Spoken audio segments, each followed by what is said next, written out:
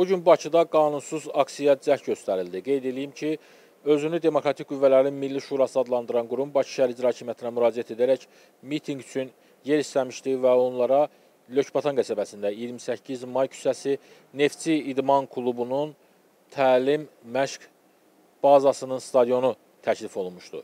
Lakin Milli Şurada təmsil olunan şəxslər bundan imtina etmişdilər və şəhərin mərkəzində qanunsuz aksiya keçirəcəklərini bəyan etmişdilər. Baş şəhər Baş Polis İdarəsi, eləcə də Daxili İşlər Nazirliyi və Respublika Prokurorluğu əvvəlcədən xəbərdarlıq etmişdi ki, Bakıda qanunsuz aksiyanın keçirilməsinə imkan verilməyəcək.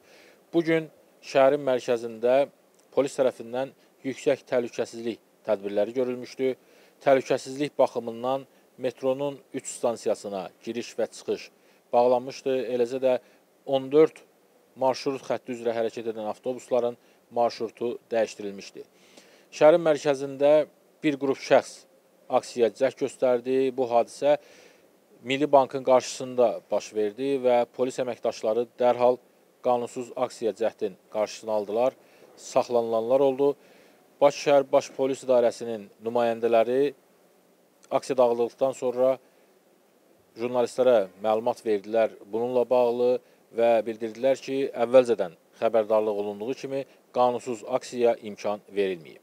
Televiziya vasitəsilə tərəfindən müraciət olunmuşdu ki, Bakı şəhər 28 may metro stansiyasının qarşısında heç bir aksiya keçirilməyəcək.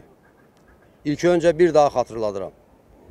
Metronun mühafizə zonasına daxil olan heç bir yerdə heç bir aksiya keçirilə bilməz. Bu haqda mən çıxış elədim və bütün ictimaiyyəti məlumatlandırdım. Özünüz gördünüz ki, cəhd edən insanlar var idi. Onların da qarşısı polis tərəfindən qətiyyətlə alındı.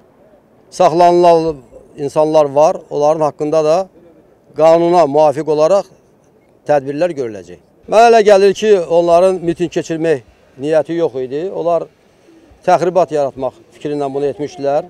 İctimai asayişi pozmaq üçün cəhd eləmişdilər, cəhd eləyirdilər. Onların da qarşısı qətiyyətlə alındı.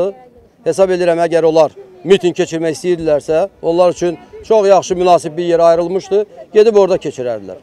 Qanunsuz aksiya cəhdlə bağlı Bakının mərkəzində bir sıra avtomobil yolları bağlanmışdı təhlükəsizlik məqsədi ilə.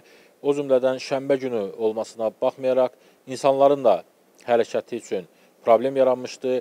Eləcə də 28 may metrosunun ətrafında fəaliyyət göstərən mağazalar müvəqqəti olaraq fəaliyyətlərini dayandırmalı olmuşdular.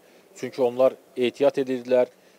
Qeyd edeyim ki, Demokratik Qüvvələrin Milli Şurası özünü adlandıran qurum və eləcə də onun liderləri bir neçə dəfə bəyan ediblər ki, aksiyalarda iştirak edən şəxslərin törətdiyi əməllərə görə onlar məsuliyyət daşımırlar və bu da sahibkarlarda, eləcə də vətəndaşlarda e, biraz qorxu yaratmışdı və onlar təbii olaraq ehtiyat edirdilər. Artıq Bakının mərkəzində nəqliyyatın hərəkəti bərpa olunub və şəhərin mərkəzində sabitlik hökm sürür.